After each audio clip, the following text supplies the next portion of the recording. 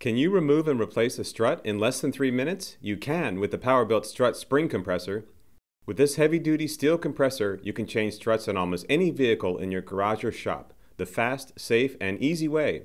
And if you have an impact wrench handy, you can remove and replace struts all day long without breaking a sweat. Here's how easy it is to use the Powerbuilt strut spring compressor. First, secure the compressor in a heavy-duty bench vise. Insert the coil spring into the slots on the compressor plates. Thread the included safety cables through the spring coils and attach cable ends to the clips.